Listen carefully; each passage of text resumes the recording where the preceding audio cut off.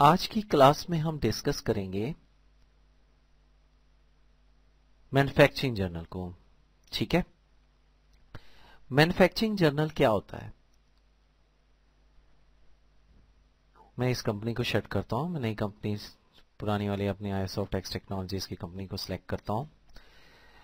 अब manufacturing journal के बारे में हमारी डिस्कशन है। मैन्युफैक्चरिंग जर्नल यूज़ होता है उन कंपनीज़ में जो असेंबलिंग यूनिट है, जिनका या फिर जो मैन्युफैक्चर करती हैं कुछ प्रोडक्ट्स को। ठीक है? मैन्युफैक्चरिंग जर्नल और एक और टॉपिक हम इसमें डिस्कस करेंगे that is bill of material ये सारे एक दूसरे से रिलेटेड हैं। ठीक है? तो वो कैसे हम इंप्लीमेंट करें मैन्युफैक्चरिंग जर्नल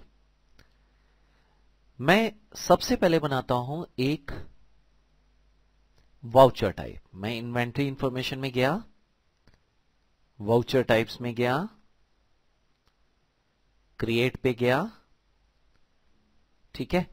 यहाँ एक वाउचर का नाम देता हूँ। वाउचर का मैंने नाम दिया मैन्युफैक्चरिंग जर्नल नाम आप कुछ और भी दे सकते हो। एंटर दबा के नीचे आया। टाइप ऑफ़ वाउचर मैंने यहाँ से लिया। Stock journal enter method of voucher numbering वो पूछ रहा है। वाउचर का नंबर कैसे आता है? ऑटोमेटिकली आता है ना? जैसे voucher number one voucher number two मैं ऑटोमेटिक ही रखता हूँ। Use advance configuration no you effective date of vouchers no बाकी और कुछ नहीं। यहाँ नीचे एक और ऑप्शन आएगा। जब आप मैन्युफैक्चरिंग जर्नल का टाइप लोगे वाउचर टाइप स्टॉक जर्नल तो यहाँ वो हमसे पूछेगा कि use as a manufacturing journal मैं यस करूँगा।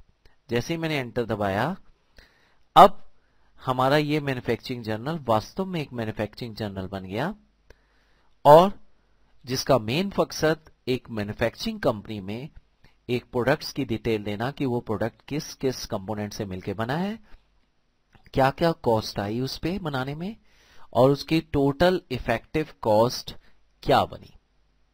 ठीक है? मैं एंटर दबाता हूँ एक्सेप्ट ये मैन्युफैक्चरिंग जर्नल मैंने बना दिया। बिल ऑफ़ मटेरियल क्या होता है? बिल ऑफ़ मटेरियल से मतलब है कि एक प्रोडक्ट किन किन आइटम से मिलके बना है या बनता है, उनको बोलते हैं बिल ऑफ़ मटेरियल यानी लिस्ट ऑफ़ मटेरियल जिससे एक प्रोडक्ट मिलके बनता है। तो यहाँ पे हम कुछ आइटम्स क्रिएट करेंगे।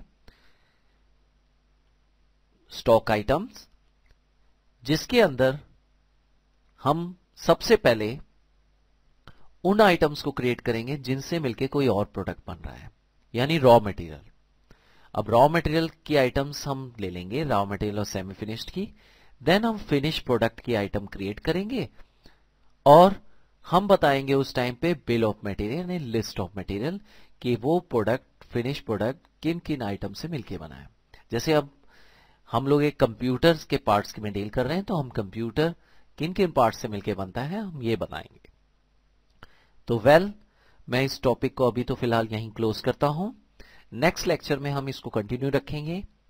Thank you thank you very much